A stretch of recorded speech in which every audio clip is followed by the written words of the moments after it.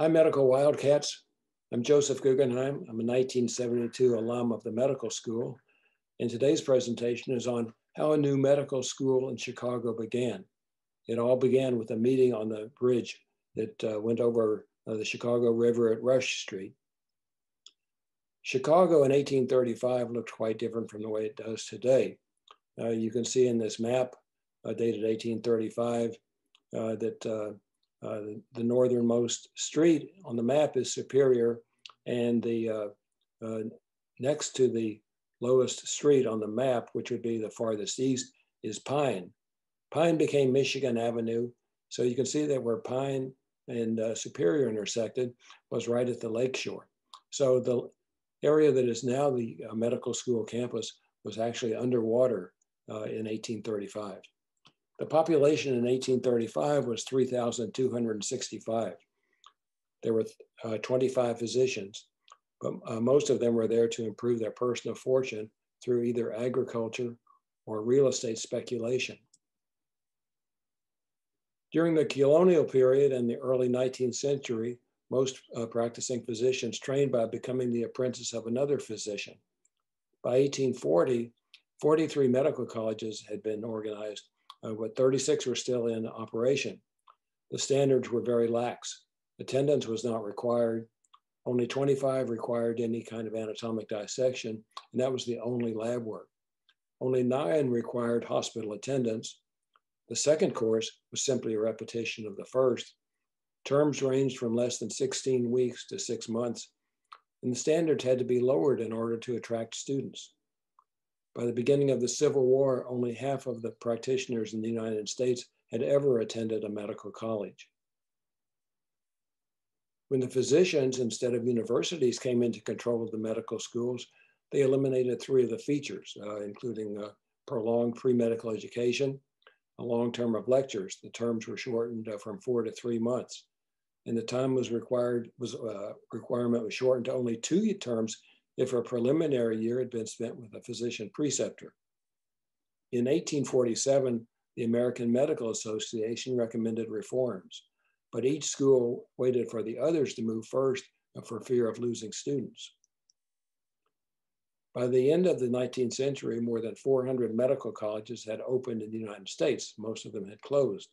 There had been 39 in Illinois. Most of these colleges were attempts by small groups of physicians uh, to gain prestige, money, or both. In Illinois, uh, there was a medical college in St. Charles, in Jacksonville, and then a new college opened in 1837 in Chicago.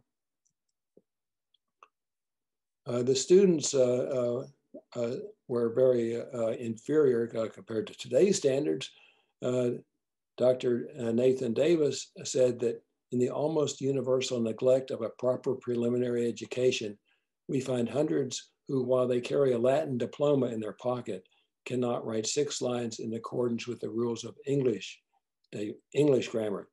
Now, he said this in the uh, mid 19th uh, century, but he was preceded by Daniel Drake, uh, who uh, uh is uh, pretty much forgotten because he had a, a smaller audience speaking in 1820 in Ohio.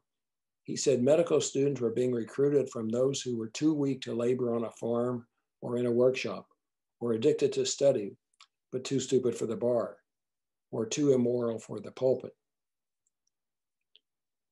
The faculties of these schools uh, uh, were also inferior.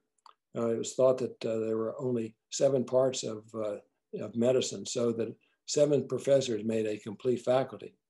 Some of the schools tried to get by with fewer than seven professors, by combining several disciplines into one professorship. Some student migration occurred. That is, students went from school to school to listen to lectures.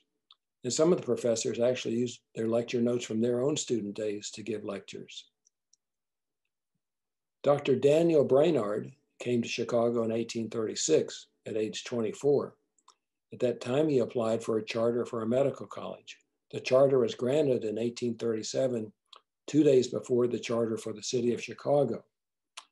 So uh, this was the first educational institution receiving a charter in Illinois before there was even a chartered high school or university. In 1858, Brainard ran for mayor of Chicago, but lost. He named his school Rush Medical College, named after Dr. Benjamin Rush, a physician who signed the Declaration of Independence. Brainard, however, was not very enthusiastic about the name. When giving lectures, uh, he sometimes referred to his home school as Medical School of Chicago. The student, the, the uh, school did not accept students for seven years. When they opened, there was no stipulation about previous formal schooling. The annual term was 16 weeks. There were only four to seven professors on the, on the faculty, and all courses were taught simultaneously, meaning that uh, what the students heard the second year was just a repeat of what they heard the first. The requirements for an MD degree from Rush remained unchanged for decades. The announcements for the college said that three years of study with a respectable physician, uh, two identical courses of lectures, the last being in this school, uh, two years of practice to be accepted in lieu of one course. The candidate must be 21 years of age, good moral character, present a thesis on some medical subject of his own composition and in his own handwriting, and pass an exam on all branches of medicine.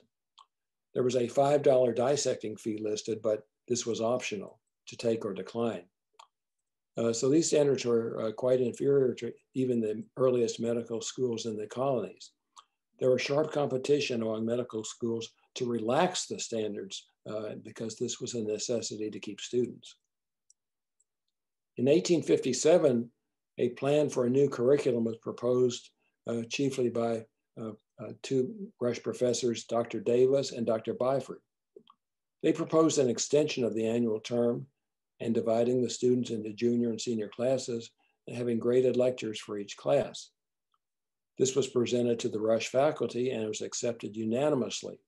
But when presented to Brainard and the trustees, they rejected the changes, fearing loss of patronage from the adoption of higher standards. So let's meet these two men. Davis joined the Rush faculty in 1851, uh, coming from uh, New York, where he had also campaigned for uh, uh, uh, changes in medical education.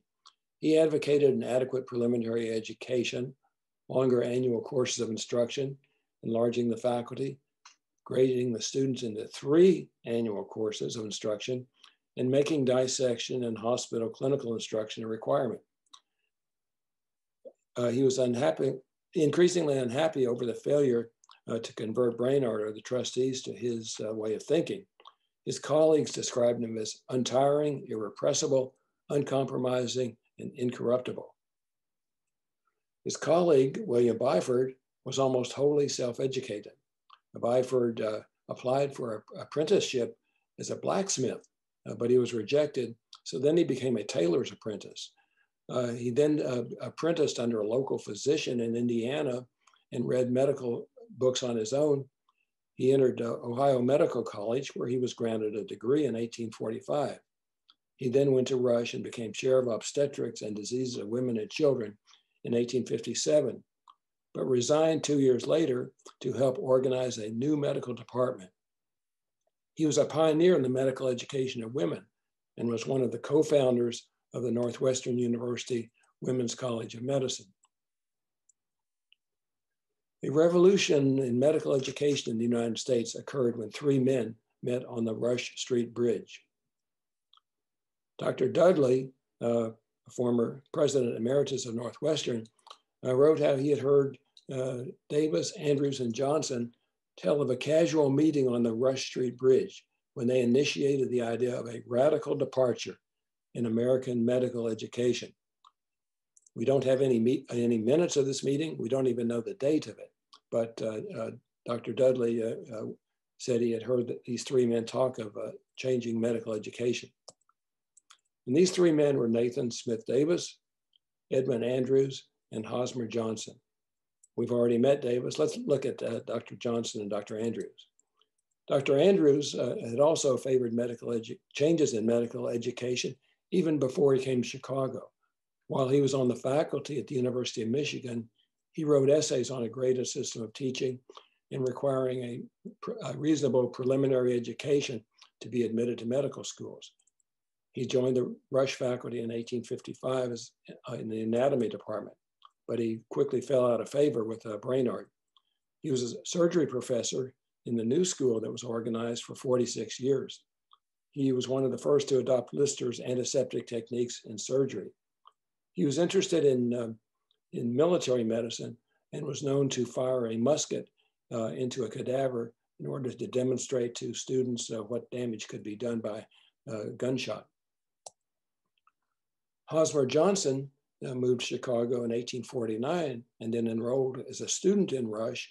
He joined the faculty the year after graduation, but he resigned in 1859 over a disagreement with Brainard. He negotiated with the trustees of a new university, which was being formed called Lind University. He was a surgeon who limited his practice to surgery of the nose and throat. After the Chicago fire of 1871, he worked as a supervisor for the uh, distribution of aid. One of his sons became dean at Northwestern. We do have a record of the meeting which occurred on March 12, 1859. This was attended by these four doctors. It was held in the office of Doctors Rutter and Isham.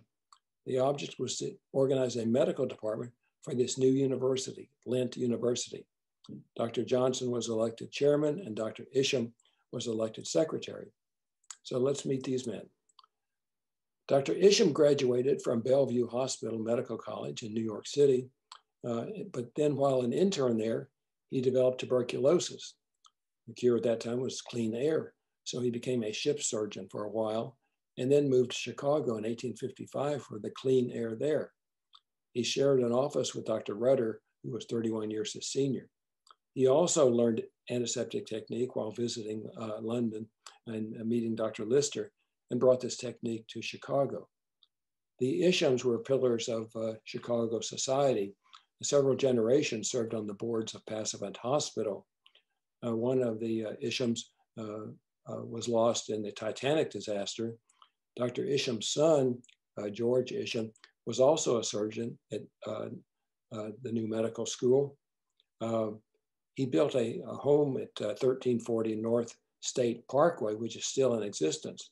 The architect for this home was a, a young architect from New York City uh, who was building his first home in the Chicago area named James Gamble Rogers. Two decades later, Rogers was the architect for uh, the medical school building, a medical school campus, uh, uh designing the uh, Ward building, Thorne building, um, Wieboldt building, and uh, later Abbott Hall. He also designed uh, the, uh, the collegiate Gothic buildings on the Evanston campus, including the iconic Deering Library and Dyche Stadium. Dr. Rutter, his senior partner, uh, uh, obtained his MD from Pennsylvania uh, in 1823 and then moved to Chicago in 1849. At the new school, he was an honorary emeritus professor of OB and diseases of women because uh, it was thought that at age 58, he was an old man. He was considered the patriarch of the group. He was one of the four signers of the original agreement with Lind University. He died at age uh, 60, at age 65 after Lincoln's assassination. Uh, he was uh, uh, admired Lincoln greatly, and it was thought that this brought on his demise. Uh, Dr. Brainard never forgave the doctors who left his faculty. And in the Chicago Medical Journal, which he edited, his, Dr. Rutter's death notice was only two lines. At the March 12th meeting, uh, they elected uh, Dr. Johnson as the chairman and uh, decided that Lind University would provide rent-free facilities for three years. For three years, the faculty would not accept any pay and degrees would be conferred by the university upon recommendation of the faculty. The faculty uh, was to consist of 11 professorships instead of the customary six or seven. And these four doctors uh, uh, uh were appointed uh, to these positions. Uh, there were seven others that were going to be appointed later in the listed specialties. Professorships were also offered to three doctors who did not attend the meeting, Dr. Davis and Dr. Byford, as well as John Hollister in Materia Medica, which is what uh, which would be pharmacology nowadays. Uh, the courses would be given at two different levels, junior and senior levels, instead of simply repeating the junior year.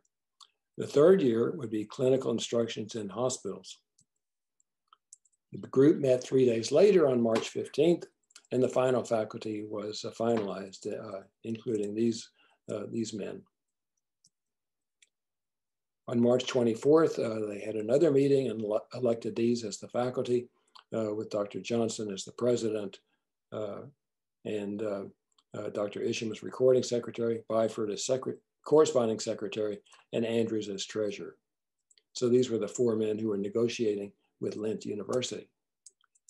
Lind University was a new school. It uh, was located in Lake Forest, about 40 miles north of the Loop on Chicago's North Shore. It was named for the Chicagoan Sylvester Lind, who was a successful uh, businessman in the lumber business, banking, and real estate. Uh, Mr. Lind uh, uh, made and lost several fortunes during his lifetime. Uh, before the Civil War, he was a part of the Underground Railroad to help slaves estate, help slaves escape from the South. And after the Civil War, he helped uh, the freed slaves uh, get employment. In 1859, Lind University was, had only established a preparatory school, but the university wanted to also establish liberal arts and professional schools. The school had a setback uh, during the Civil War, a financial setback, uh, and had to reorganize uh, after the war as Lake Forest University. Uh, Mr. Lind could not fulfill his financial promises to the university.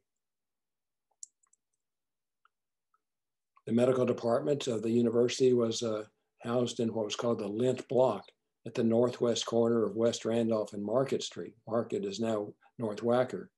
Uh, you can see in the picture of this building uh, that uh, it says it was the northeast corner, but most sources say northwest. This was the site for the school's clinics, labs, the library, lecture halls, museum faculty rooms, and anatomy rooms. The students received daily uh, bedside lectures at nearby Mercy Hospital. The opening session uh, uh, began in October 1859. Uh, Dr. Davis made the opening remarks.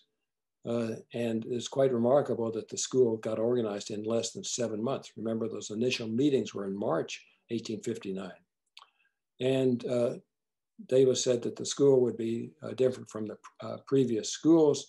they would, the school would promote the educational interests of the profession without reference to established customs and usage, and that medical education would be given in accordance with sound educational principles uh, and better adapted to the present state of science and art of medicine than that which has so long been adhered to by the medical schools of the country. So this school was ready to break with tradition. The term began the next day, October 10th, 1859, and ended on March 5th, 1860. The first session had 33 students. There were 19 juniors and 14 seniors. The enrollment increased to 79 by the fourth year. The clinical instruction was given at, at Mercy Hospital, also at an orphan asylum uh, near the hospital, and a free dispensary at the medical school on the Lind block.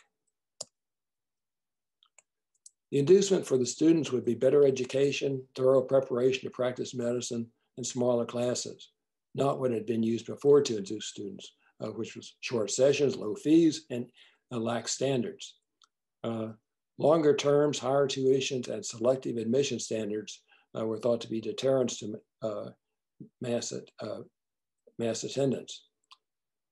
The announcement said that good room and board could be obtained in the city for 250 to 350 per week, far cry from what it is now.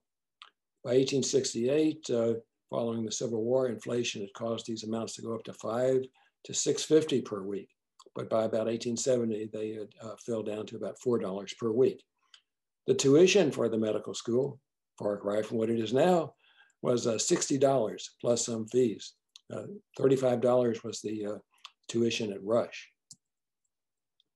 The original faculty con uh, consisted of these 12 men.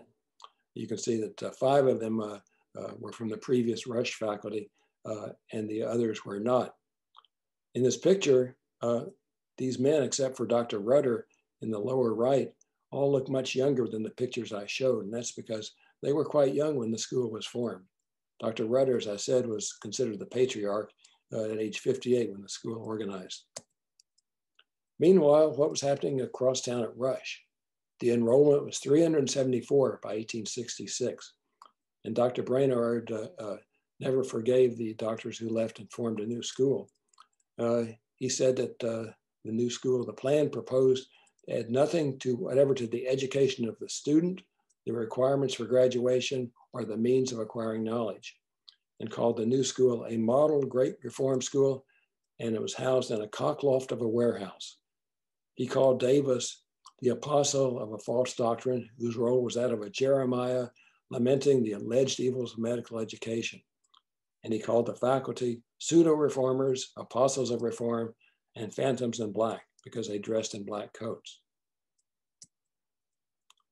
So I'll continue this on uh, further episodes, uh, talking about the uh, history of this uh, new school and changes in medical education that occurred.